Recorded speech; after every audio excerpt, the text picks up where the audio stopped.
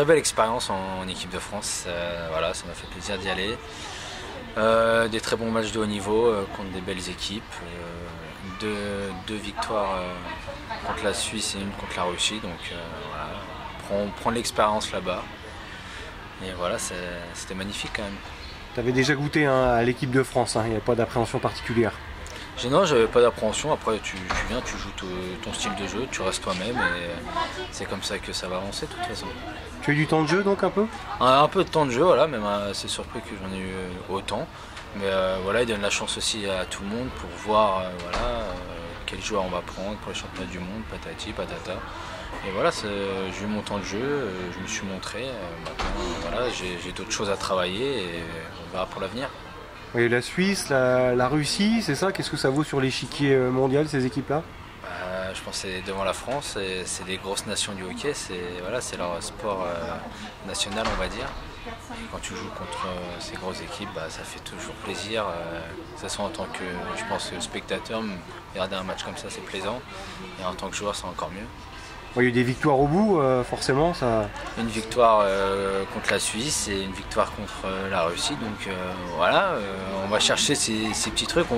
ça montre aussi que le hockey français est en train d'évoluer, qu'il y a plus de, des 10 euros comme, comme à l'époque. Et on est en bon chemin.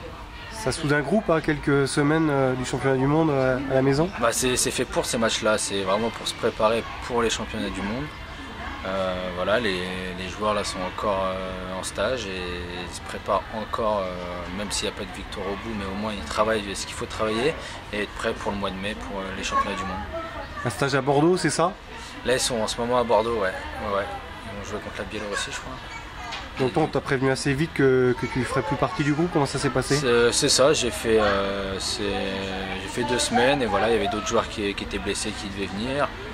Et voilà, ça fait partie du sport, c'est comme ça, ils font la sélection. Euh, je leur souhaite euh, en tout cas de gagner euh, le championnat du monde. Il y a de la déception quand même un petit peu, même si on sait que les Rouennais, les gars pensaient, bah, étaient en finale, donc forcément il y a eu du 109.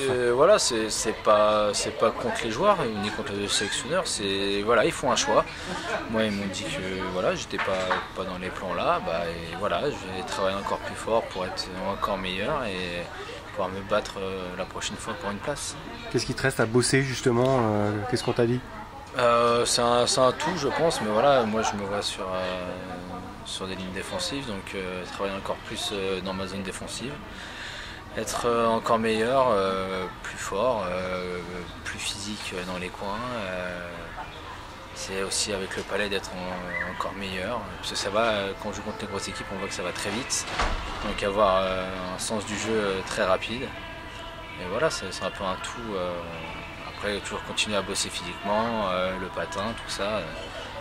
ça, c'est normal, on bosse tous les jours.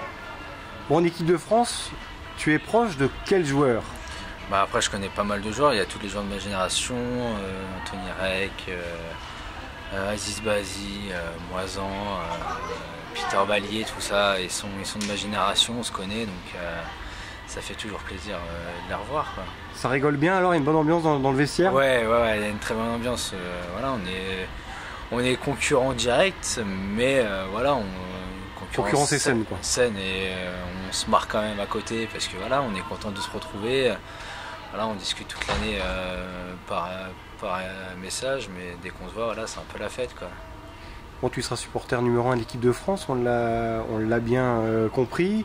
Euh, c'est une année euh, bah, exceptionnelle de, vivre des championnats du monde comme ça euh, dans le pays. Tu, sens qu'il y a une ferveur, il y a eu un spot de, promotion notamment et une tournée également dans, toutes les patinoires françaises cette année Bah ouais, il y a une tournée quand même qui a été créée par la Fédé et tout. Donc voilà, ils mettent, tout en avant pour que le hockey français bah, soit encore plus médiatisé, développé, hein, tout ce qui s'ensuit. Et enfin, un championnat du monde à Paris, c'est pas arrivé depuis je sais pas combien de temps, je crois dans les, années 50 c'était. Mais euh, ça devait être très plaisant en tant que. Bah moi je suis en tant que spectateur, mais en tant que joueur, ça va être aussi euh, très, bien à, jouer. Tu iras les, les voir, ouais, c'est prévu un peu?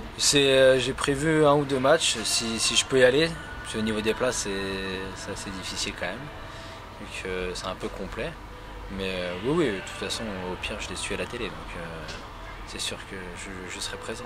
Il y a une ferveur populaire, il y a, un engouement quand même euh, autour de, cette équipe de France parce que au sein des gens, au sein de la population, bah je pense oui, parce que euh, voilà, quand on se déplace dans les patinoires, euh, il y a quand même du monde. que ce soit là, ils sont à Bordeaux, ça va être, ça va être blindé. À Sergi, c'était voilà, plein. À Amiens, c'était plein. Donc on voit que quand même le hockey français avance et je pense que les gens aussi attendent une bonne prestation de, l'équipe de France euh, pour, que, pour que ça avance euh, un peu plus tard euh, au niveau médiatisation, comme je disais, les gens aillent au hockey. Voilà, mais ça passe aussi par une bonne performance, je pense. Il y a une belle promotion de l'événement en tous les cas, et puis il y a, deux spinaliens euh, qui vont euh, s'investir bénévolement. C'est ça, Guillaume Laroche, le responsable du, matériel, et Quentin Bichel-Berger, qui est, supporter et qui est même présent sur le spot de, promo hein, du, hockey, comme quoi il y a, également euh, bah, beaucoup d'intérêt de la part des, Vosgiens. Bah, des Vosgiens, mais puis l'ensemble des bénévoles des clubs de, la France. Quoi. Il je pense, je ne connais pas le nombre exact de, de, bénévoles, mais on voit quand même que voilà, c'est le, pays met tout en or, met tout en, en œuvre, en œuvre pour, euh, pour faire mayonnaise prenne quoi. Pour que le championnat du monde soit beau, agréable et pour que le hockey français se porte bien. Bon, les Guémieux d'Épinal euh, sont en train de, dessiner les contours du futur euh, effectif. Quels sont tes souhaits? Tu dois rencontrer les dirigeants prochainement, c'est ça? Voilà, je vais je dois rencontrer les gens, euh, les dirigeants euh, bientôt là. Je les ai déjà vus, voilà, ils ont vu tous les joueurs, ça se passe comme ça après chaque saison, on a discuté et voilà, c'est un peu comme au foot, c'est un peu le mercato quoi. Et je pense que les joueurs français sont principalement euh, la base des, équipes. Donc beaucoup mettent l'accent sur les Français. Après, on ne sait pas trop comment ça va se passer. le, plan du coach, ce que ça va être pendant euh, cette année. Et euh, voilà, il faut prendre une décision aussi. Euh, Quel est ton souhait, Romain? Pour le moment, je suis entre, entre 2, 3. j'ai pas envie de donner tout de suite ma décision, mais je pense que je vais la donner prochainement dans, voilà, dans, la semaine ou dans les semaines à venir. C'est sûr que je la donnerai. Mais il faut que je vois aussi d'abord les dirigeants spinaliens, ce qui, faut que tu sentes l'envie de, te garder L'envie de me garder, l'envie de. D'être ambitieux D'être ambitieux, mais pas, pas trop gourmand non plus. Faut voir, faut pas se voler la face. C'est très important. Et euh, le projet qu'ils veulent tenir euh, sur, avec les joueurs euh, français. bah, après, plus particulièrement moi, c'est moi que ça intéresse. Mais voilà, ça, seuls les dirigeants peuvent nous donner une réponse ne pas revivre une saison comme celle euh, écoulée, forcément, ça a dû euh, marquer les, esprits Ça a marqué les esprits, euh, oui. Moi, je suis quelqu'un d'assez humain. Humainement, ça a été pas, top, je le dis clairement, pas, top. Ça. Après, sportivement, ça c'est le sport, donc il faut savoir perdre, il faut savoir gagner. Il y a des saisons avec, des saisons sans. Bah là c'était 100 et c'est comme ça mais euh, voilà on était c'était je pense une transition pour, euh, pour les joueurs pour le club pour le staff. Donc euh, voilà il y a eu des, des courts-circuits au bout d'un moment et donc voilà mais moi je sais qu'on s'est dit les choses avec avec le staff pour que ça avance dans les deux sens. Que ça, soit des choses négatives ou positives faut les dire de toute façon. Mais moi je ne pourrais pas revivre une saison comme ça idéalement, toi, tu aimerais euh, bah, évoluer sous les couleurs d'une équipe du, top 6, c'est ça hein? Ouais, ouais, c'est normal, on cherche. Euh, je, suis, je suis là pour gagner, je suis pas là pour, euh, pour perdre. Donc, quand on passe d'une saison comme ça, c'est dur quand même. Il faut se remettre en question et, voilà, je pense que. T'as un statut international également, forcément, à conserver? Oui, oui, on peut dire ça, ouais. Mais, mais voilà, j'ai envie de gagner. Moi, mon but dans ma vie, c'est de gagner. On est sportif pour gagner. Si c'est pour euh, juste dire qu'on est sportif, bah voilà, on veut pas trop avancer dans, sa carrière. Moi, mon but, c'est vraiment d'avancer, gagner un maximum de titres et c'est comme ça qu'on a de la reconnaissance aussi. Bon, Luciano Basile euh, bah, va prolonger euh, l'aventure à Gap. si Brad Gratton reste en poste, est-ce que ça peut avoir une influence sur ton choix? Bah, Après, Brad, ça a été mon entraîneur de la mi-saison. donc on le, connaît, mais voilà, il n'a pas fait, il pas fait ce qu'il voulait. voilà, c'était pas ses joueurs, c'était pas, il a, il a repris une équipe, donc c'est difficile de de s'ouvrir à quelque chose que nous on avait déjà des bases, un système de jeu. Et donc voilà, ça dépend du projet. Je vais, je vais parler aussi avec lui. Et après, Luciano Basile, on le connaît aussi. Hein, on le connaît depuis un certain nombre d'années. Tout le monde le connaît, tout le monde le, veut aussi dans, son équipe. C'est qu'il est bon. Voilà, c'est un meneur d'hommes. Il est très fort là-dedans. Quand on voit que sur ces cinq dernières années, il, a fait 4 euh, ou 5 finales, donc euh, voilà, c'est pas non plus euh, un peintre. Hein. Donc c'est sûr que c'est un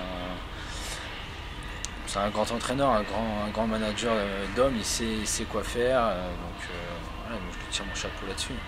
Il y a d'autres paramètres à prendre en compte quand on est joueur, la qualité de vie, le dynamisme de la ville, comment tu, ressens les choses Ça dépend. Ça dépend si, on a une famille et tout, je pense que c'est important. Euh, quand on est seul ou quoi, on fait abstraction, dire, de ça. On signe pas pour la ville, de toute façon. Moi, j'ai pas, on va pas signer pour Épinal.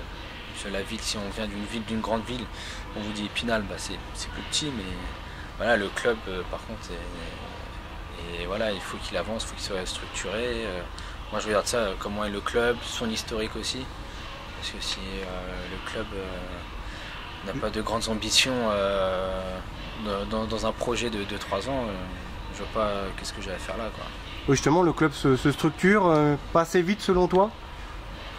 Pas assez vite, euh, si on, avance, on évolue, mais c'est pas encore les, gros clubs, Rouen, Grenoble, même Bordeaux. Donc voilà, faut pas. Qu'est-ce qui manque, Romain, à, Épinal? C'est quoi? C'est au niveau du staff médical? C'est au niveau de, de quoi? Je pense que c'est un tout. C'est un tout. Par exemple, cette année, on a des, des problèmes de kiné. Ça s'est résolu dans l'année. Alors que c'est des choses qui doivent être faites en amont, avant. Donc voilà, c'est plein de petits détails qui fait qu'un club est vraiment bien structuré. Je sais pas, ça peut aller du, rouleau de scotch qu'on a, je sais pas, aux appartements par exemple. Donc euh, quand on arrive, bah voilà, faut que ça soit prêt. Euh, je dis pas qu'on doit être, euh, on n'est pas des stars ou voilà, je veux ça, ça, ça, faut que ça soit fait, mais au moins être, être prêt, que le joueur ait à penser que hockey en fait. Si le joueur est ailleurs, bah il va, il va, le ressentir sur la glace, l'équipe va le ressentir. Après, bah voilà, c'est un enchaînement, c'est un, cercle vicieux. Donc voilà, ça met un peu de temps. Pour conclure, Romain, là, quel, est, quel est ton programme là C'est des vacances Là, j'ai pris, des vacances. j'ai pris des vacances. Je suis, parti un peu en vacances. Là, je suis revenu. Euh, un peu de voilà, je un peu de muscu. Euh, je reprends la, glace. Euh, voilà, m'amuser encore un peu avec les copains. Après, selon ma décision, bah, je sais si je reste, bah, je serai ici encore. si je pars, bah, je partirai. T'es sous contrat jusqu'à fin avril, c'est ça? Jusqu'à dimanche. Jusqu'à dimanche, je, suis sous contrat. Donc après. Euh, Advienne que pourra. Voilà, on verra. Tout peut arriver. Exactement. Bon vent à toi, Romain? Bah merci. Et euh, au plaisir alors. Bah, pas de soucis. À Poisson Pré, sous le maillot des Gagnots ou pas, ou sous un autre? Ou peut-être, mais de toute façon, je, viendrai quand même. Euh, si je suis pas ici, je viendrai jouer contre les Gamiots et, voilà, ça serait avec plaisir de croiser deux trois personnes quand même. L'étranger, ça tente ou pas du tout? Il y a ça aussi. Voilà, donc euh, c'est voilà, c'est pour ça il y a beaucoup de, beaucoup de trucs. Euh, il faut savoir être patient et faire les bons choix quoi. Faire les bons choix, exactement. Et il y a un pays quand même qui tenterait si c'est à l'étranger? Bah tout ce qui est pays euh, pas de l'est. Ouais, de l'est, tout ce qui est tchèque, Autriche par là-bas quoi. Après voilà, il faut s'en donner les moyens aussi. C'est difficile, c'est autre chose, c'est d'autres championnats. Il y a plus de difficultés. Mais bon, c'est des risques à prendre. Sur un CV, c'est une ligne importante, c'est ça quoi C'est une ligne importante, oui. Et euh, voilà, faut, faut prendre la bonne décision. Et c'est ça le plus difficile en tant que sportif. Et t'as pas d'agent, tu négocies directement? Non, si j'ai un agent qui, négocie. Euh, Tes intérêts Ouais. Pas me prendre la tête avec la paperasse. C'est un gros plus? C'est un plus, euh, oui, bah oui, c'est un plus de toute façon. On gère pas tout ça on le paie pour ça, donc euh, oui, c'est un plus de toute façon.